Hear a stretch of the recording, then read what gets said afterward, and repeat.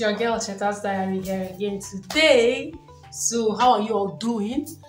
By the title of this video, you guys know what is going down here on this channel today. So, I'll be cutting a simple piece, a pajamas, trouser, and shirt for a client. So, I want to take you guys along on how I cut the trouser and then the shirt of these PJs. So here with me, I'm rocking a piece from Cheta's Diary. This is a kimono which was made by me. If you'd like to see a video on how I cut this beautiful piece, comment down below. So guys, here with me, I have my fabrics. So I'm using uh, Duchess satin. So why I chose this because it lasts longer. The other satins I saw in the market were not good enough for me. The qualities were not what I actually wanted. So I went with Duchess satin. So this is the fabric I am using. And here with me, I have my measurement book. You all know we need measurement to cut what, whatsoever we are cutting here on this table. And then I have my scissors. My tape is hung around my neck. And my piece of chalk to mark whatsoever I am cutting. So if you like to see the process on how I sew or sew this piece, do well to comment down below guys. I'll show you guys my sewing process. So let's get straight into this video but please do not forget to my returning subscribers you guys are welcome back to my new subscribers you guys are welcome to my channel just like I said my name is Chetachi Cheta for short so do well to subscribe to this channel, like this video, share, comment, and tell me what you'd like to see next on this video.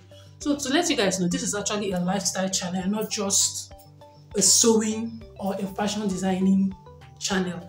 This is where I show you how my everything I do in my life, but you guys will see more of my sewing skills and then my cutting skills. So let's get straight into this video and let me show you guys how I cut this beautiful fabrics, how I turn it into a pajamas or PG.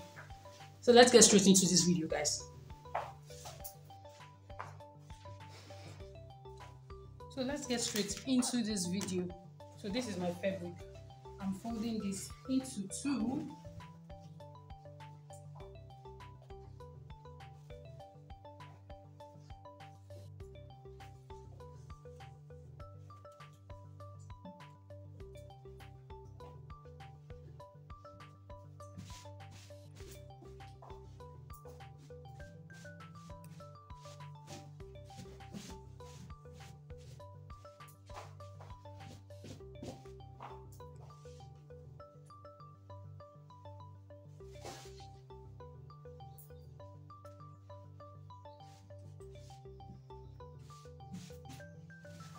So I'm done folding my material. So it's everything I need to mark on this trouser, the easy steps on how to cut this, how to cut a trouser. So guys, you know that if you're very, very observant, you know that the back of your trousers are usually longer than the front. Why is that? Because of the butt area, so it will relax. If you make them equal, then you're going to be wearing a low waist a low waist trouser. So we will not want to do that right? So in this we have two things we do. We have to measure the descending and then ascending order for the front of your clothes. This should be for the front. Then here this part is for the back. So this is the shorter part the shorter part for the front of your trouser and this is for the back. So just watch how i cut this simple material for this client. So here, this person's measurement is the full length of her trouser. Her trouser length is hmm,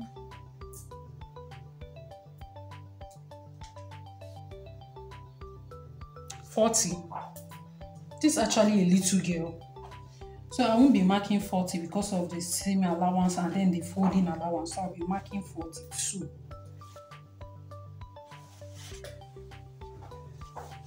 And then there's what we call the clutch depth, which is, in other words, if you understand, it's called an OC, which is the part of the trouser, the flap of your trouser. So this pretty girl's own is 10. So I'm marking 10.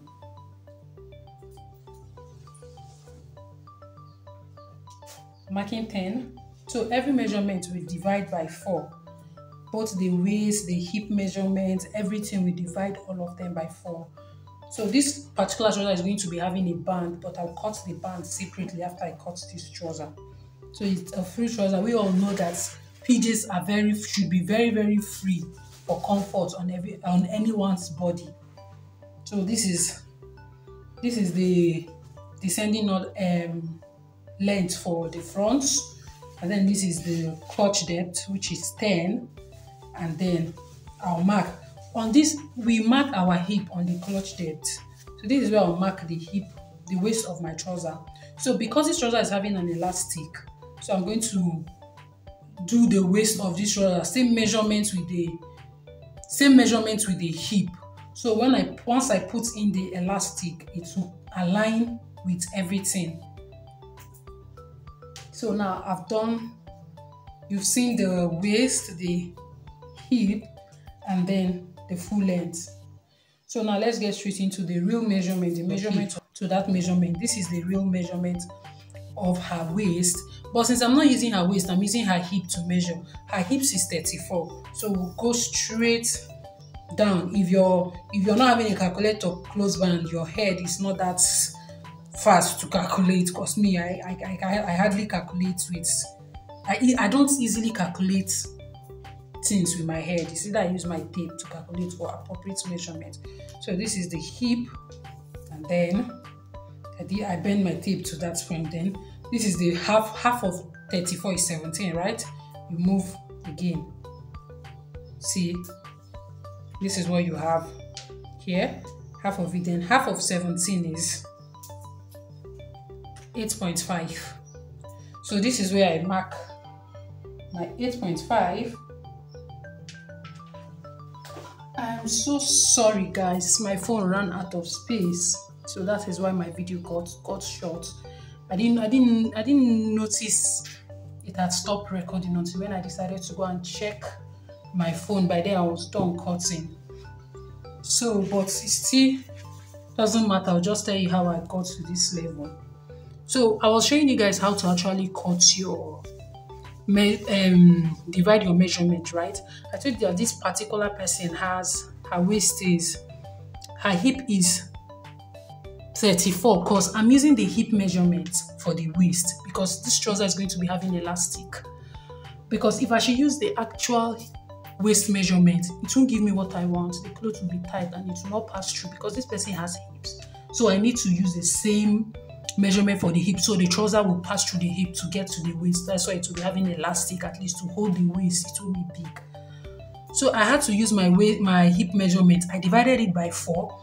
Her measurement is actually 34. You go, you look at your tape, you check 34.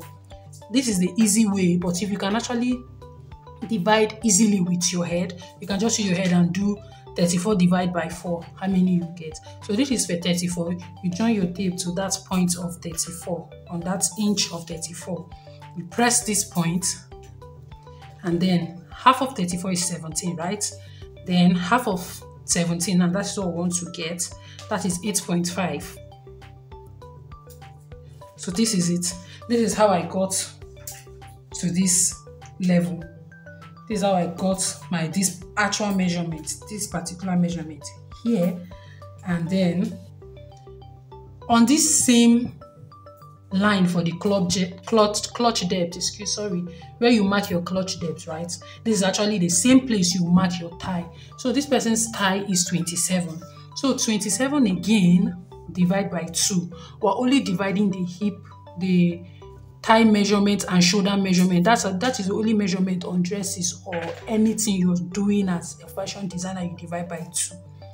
So the thigh is 27. So 27 divided by 2 should give me 13 and a half. So this is my 13 and a half. Sorry, I have to just put small seam allowance that I'll use to sew here and then there. So that how that was what I got. And then this point is where I put my 8.5 again and with my little allowance. So I join it from here like this to this point. To this point. That is where I cut out this thing you're seeing here. this is how I cut out this thing. Let me actually check it this one record. So this one actually I cut out. So that is just it for this. So I'll cut out the extension, the band for this dress. So that is it. That is it for trouser cutting, guys. Stay tuned and I'll show you guys how I sew this trouser. I'll show you guys the sewing process. But for now, this is the cutting process. Thank you guys for watching. Do well to subscribe to my channel, like, share, turn on post notification bell so you don't miss out when I post on YouTube. Also turn it on so that when I post the sewing process of this trouser, you're going to see, and when I cut the shirt, you're going to see the the upload. Thank you guys for watching, and I'll see you in my next video. Stay beautiful, guys. Peace out.